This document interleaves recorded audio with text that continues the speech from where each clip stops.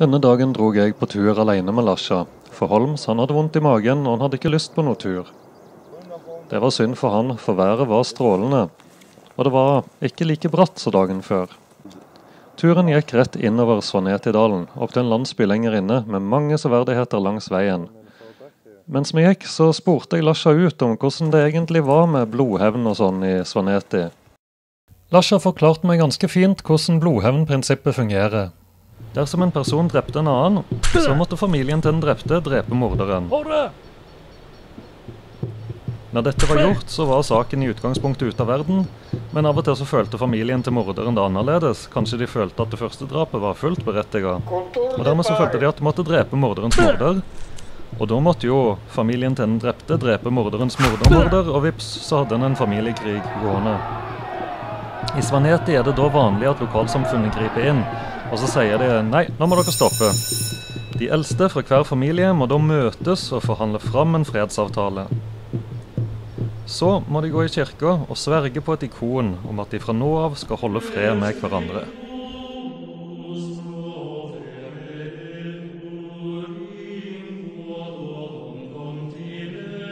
Dette syntes jeg egentlig hørtes ut som en helt grei ordning, tatt i betraktning at de ikke hadde noe fungerende rettssystem der oppe. Så jeg satt jo egentlig i grunnen igjen med et ganske positivt inntrykk av hele blodhevnopplegget.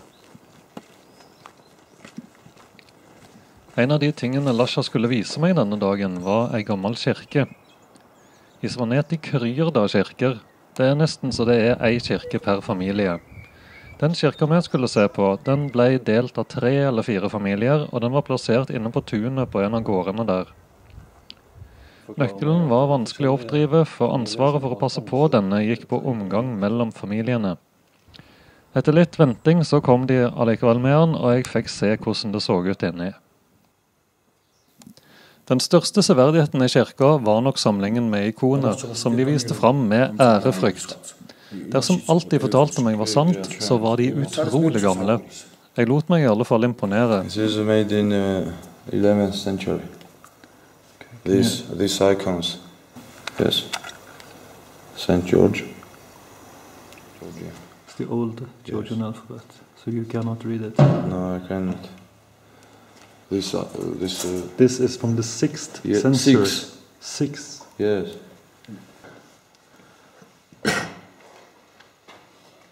მესამე საუკუნით და ერა third century. Yes. it doesn't. It's ancient icon. You know, there is some Georgian yes. alpha from Georgian alphabet, but no one can this to read. No, it's too old. This is Jesus. Yes. Oh. Very it's, different. It's different. It's more older. Yes.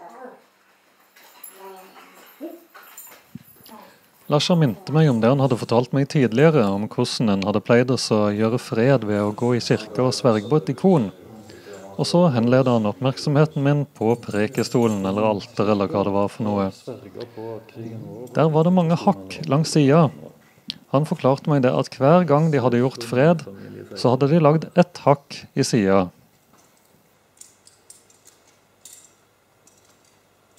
Nå talte ikke jeg akkurat hakkene så nøyaktig, men jeg tipper det kan ha vært 150-200 hakk. 200 blodhevn-familiefeider på de 900 årene siden kirka ble bygd. Og dette er bare mellom de fire familiene som delte på denne ene kirka. Til å bo så idyllisk til, så var de egentlig ganske glad i å slåss, disse her svaneterne. Jeg burde kanskje skjønt tegninga etter alle de eh, familietårna som sto overalt.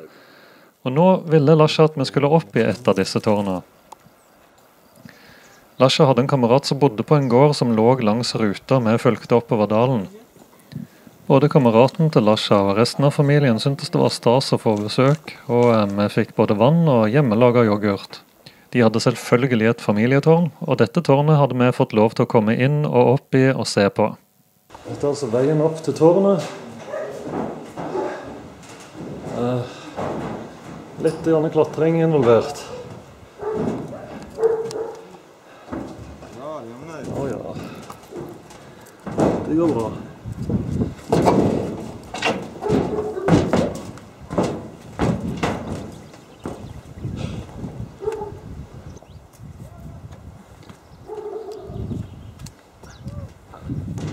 You can maybe film me while I climb.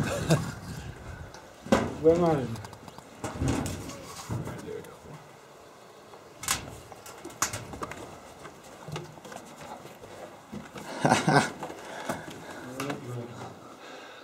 Skroll så da. That's not much of a window for that.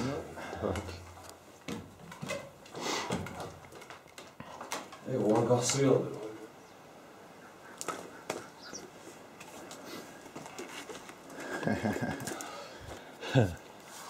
Thanks. Ah. Så var man på toppen. The upper side. There are too many stones and when it was war, Yes. they used this stone To throw. yes, to throw.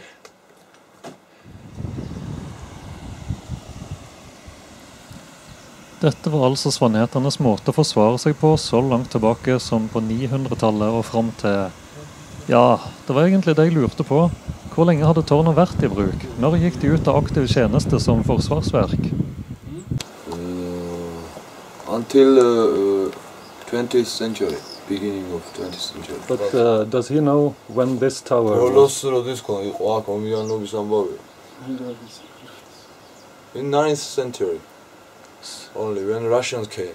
Ah, yeah. No, Uh, we had all. In all our, our life, we have too many problems with Russia. Because Yes. uh, we love to be free, and they don't like it, and so to keep our tradition, our soul, our heart, it's uh, it's uh, th- these buildings was important to save your family, your village. So it was in ancient period good building. Yes. So